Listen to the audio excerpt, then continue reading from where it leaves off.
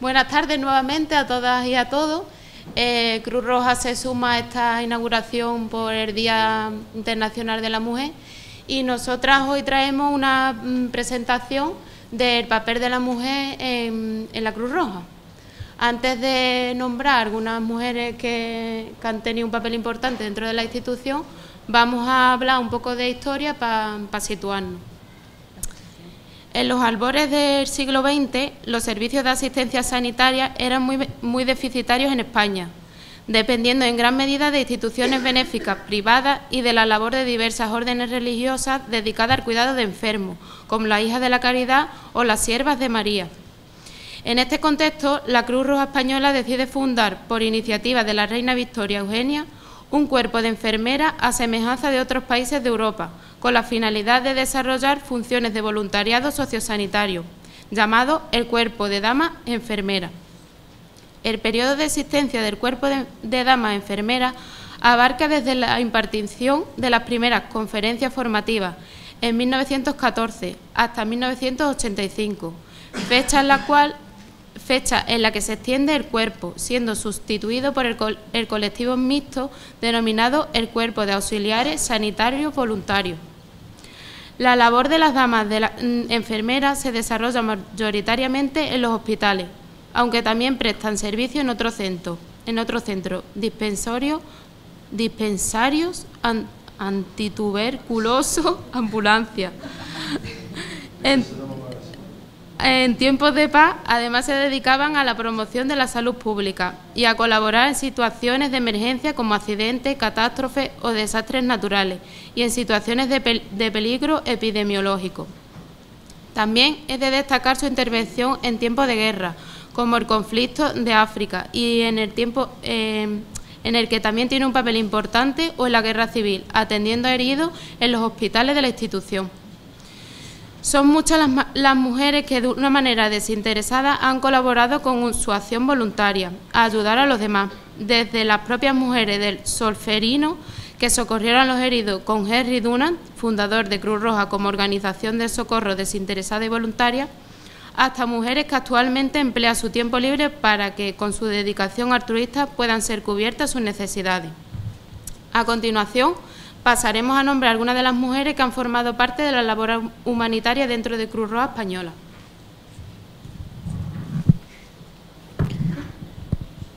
Bueno, pues buenas tardes. Antes de nombrar a, esas mujeres, no, no, puedo nombrar a todas las mujeres porque son muchas.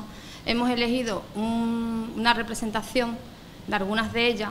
Deciros que aquí hemos traído algunas cosas representativas de bueno, de la época de hace ya bastantes años que se utilizaban como materiales para la ayuda humanitaria, ¿vale? Y como veis, era todo es mm, sanitario. El uniforme de las enfermeras, que es como un prototipo del uniforme que utilizaban, pero sabemos que hay otra serie de, de uniformes que también se han utilizado, otros modelos. Una camilla y un botiquín. ¿Vale? Y esa foto, pues que es del 120 aniversario de la Cruz Roja en España. Bueno, y ahora voy a empezar a nombrar a esas mujeres. Hemos elegido cuatro, ¿vale? Son muchas más, pero mm, por su papel que han tenido fundamental dentro de la Cruz Roja, eh, voy a destacar a Concepción Arenal, ¿vale? Este año se le ha hecho además un homenaje a esta persona. Eh, diplomada en Derecho, pensadora, periodista, poeta y autora dramática española encuadrada en el realismo literario y pionera en el feminismo español. A lo largo de su vida y obra denunció la situación de las cárceles de hombres y mujeres, la miseria en las casas de salud o la mendicidad y la condición de la mujer en el siglo XIX en la línea de las sufragistas feministas y las precursoras del feminismo. Colaboró organizando en España la Cruz Roja del Socorro, para los heridos de la guerra carlista al frente de un hospital de campaña para los heridos de la guerra en Miranda de Ebro y formando parte de la Comisión Central de Señoras Hospitalarias de España. La siguiente persona, mujer, es Juana de la Vega. Fue una activista y escritora liberal española. Casada con el guerrillero y militar liberal Francisco Espoz y Mina, fundó la Asociación de Señoras de La Coruña, cuya junta presidía y cuya finalidad era la de cuidar a los niños expósitos y asistir a los enfermos del Hospital de la Caridad. Además, fue presidenta de la sección de señoras de la Cruz Roja en La Coruña. La siguiente persona, la siguiente mujer, es bastante destacada en, la historia de la Cruz Roja en España y se trata de la reina Victoria Eugenia de Battenberg, eh, dedicada a Cruz Roja desde 1916 hasta 1931. Su principal obra fue el Hospital Central de la Cruz Roja en Madrid. Consiguió despertar y animar en las damas de la alta jerarquía social española en anhelo de ayudar a los enfermos con el trabajo personal junto con las limosnas. La reina consigue grandes apoyos dentro de la institución, lo que le otorga mucho poder de gestión, organizándole incluso conflictos con la sección de caballeros, que ven cómo las asociadas gozan de mayores competencias organizativas y reconocimiento social. El fin humanitario de la reina en Cruz Roja contribuye al reconocimiento social de la enfermería como una profesión. Eh, y la última persona que nosotros hemos querido destacar es María del Carmen Angolotti Mesa, duquesa de la Reina Victoria y condesa de Luchana. Fue una aristócrata española. Estuvo casada con Pablo Montesinos Espartero, tercer duque de la Reina Victoria y tercer conde de Luchana, coronel de caballería. Fue dama de la Reina Victoria Eugenia de Battenberg desde 1911. Organizó la actividad de la Cruz Roja española durante la Guerra del Rif fue inspectora general de los hospitales de Marruecos español entre los años 1924 y 1927 y presidenta de los hospitales de la Cruz Roja en España desde 1939. No sé si algunas habéis visto en la serie de En tiempos de guerra, ¿vale? Pues la reina Victoria y María del Carmen Angolotti estaban ahí representadas.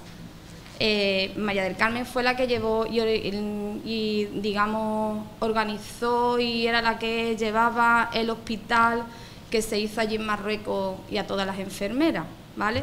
Eh, destacar también que casi todas las que eh, colaboraban, todas las enfermeras que colaboraban en Cruz Roja eran de, de la alta aristocracia, eran personas nobles que dejaban su vida acomodada pues para servir como humanitarias ¿vale? al servicio de la, de la Cruz Roja. Hay otras muchas mujeres también que se pueden destacar, como Elvira López Maurín, que fue la primera enfermera de Cruz Roja Española de la Aviación Sanitaria Española, Manuela Cabero Morán, médica vicepresidenta de Cruz Roja Española, Fernanda Calado Rosales, enfermera española, etcétera, etcétera, etcétera. La foto esta que tenéis aquí a mi espalda es eh, la foto de, Nerva. O sea, esta es la Cruz Roja de Nerva de hace 115 años, ¿vale? Dado que largo, el papel de la mujer a lo largo de la historia quedaba relegado, destacando mayoritariamente la acción del hombre, no hemos podido recabar información sobre mujeres con nombres propios de las que destaquemos ahora su labor en la Asamblea Comarcal de Nerva conociendo que éstas se ocupaban fundamentalmente de la asistencia sanitaria y cuidado a personas heridas en la guerra. Sabemos porque hemos hablado con personas, hemos preguntado que eh, los maridos, los padres, los tíos, los suegros, los vecinos, cuando venían buscando ayuda para poder levantar a los muertos de la guerra, pues las mujeres iban y ayudaban. Pero no tenemos un nombre ni un apellido propio de esas personas. Sí sabemos que había un grupo de mujeres que lo hacían. Así pues, en momento de cambio, de seguir avanzando para conseguir igualdad real y efectiva entre hombres y mujeres, por lo que por medio de este acto queremos visibilizar a las mujeres reconociendo su papel concretamente en nuestra asamblea comarcal, puesto que el 70% de los puestos de voluntariado lo ocupan mujeres, llevando a cabo todo tipo de acciones y tareas con los diferentes colectivos con los que trabajamos, personas mayores, infancia y juventud, personas en situación de vulnerabilidad, personas inmigrantes, etc. Y ejecutando desde acompañamientos en domicilios a la tercera edad, diversos talleres para personas mayores, actuaciones de calle para la sensibilización y concienciación de la, población, hasta movilizaciones de carga y descarga de alimentos. Por tanto, queremos prestar nuestro más sincero y enorme reconocimiento a todas esas mujeres que dedican y han dedicado su tiempo libre en llevar a cabo una labor humanitaria de forma desinteresada y altruista a través de nuestra Asamblea Comarcal de Cruz Roja en Nerva, desde su origen hace ya 115 años hasta la actualidad. Hemos elaborado un diploma de reconocimiento que plasmaremos en una placa ¿vale? Y situaremos en nuestra sede para que todas las personas que nos visite pueda visualizar dicho reconocimiento, porque creemos que es importante que ya que nunca se ha hecho, o creemos que nunca se ha hecho, este reconocimiento a todas esas mujeres que desde hace ya bastantes años mm, llevan haciendo esta labor en nuestra asamblea, pues creemos que ya es el momento de hacerlo. Y hoy aquí queremos hacer ese reconocimiento, Lucía y yo, bueno, en nuestra asamblea en general, nuestros voluntarios, a esas mujeres. Entonces vamos a hacer que un diploma sin, con unas palabritas en una placa la pongamos allí y todo el que vaya pues lo pueda visualizar. Y nada, hasta ahora.